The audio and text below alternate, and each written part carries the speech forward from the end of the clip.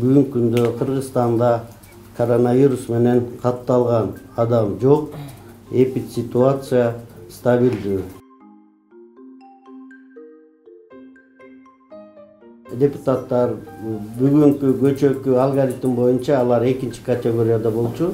Экинчи категориядагы мамлекеттен келгендер алар домашний карантинге өтөт бул жерде эч кандай мыйзам бузуу болгон жок. Мен силерге бул ачык айтып кетейин. Бизде министрликте эч кандай тааныш билиш жок алгоритмди эч ким бузбайт билим берүү министрлиги айтты бүгүнкү күндө посещаемость средний токсон беш пайыз деп ошондуктан бүгүнкү күндө негиз жок ошон үчүн азыр карантинди эметпей эле баягы мыйзам чегинде жыйырма биринчи мартта да э каникул ошол менен токтолдук анан ситуацияны мониторинг кылып турабыз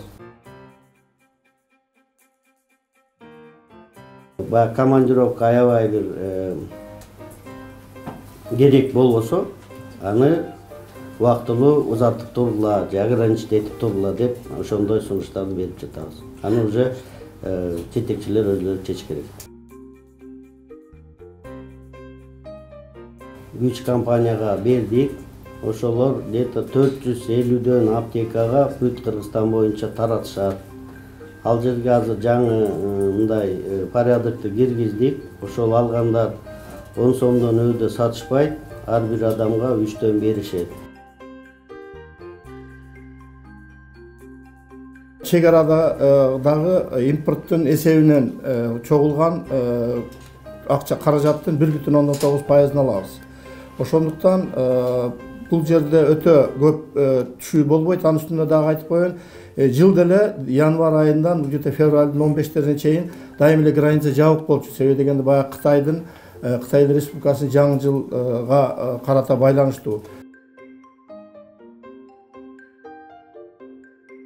Эгерде жакынкы арада граница ачылып калса иркиштан тооругаров жана авиалиниялар менен көбүрөөк биздин жарандар каттай баштайт ошого байланыштуу. Биз запасты да даярдаганга дагы миңге жакын койкаларды жасаганга даярбыз. Бүгүнкү күндө акча каражаты жетиштүү.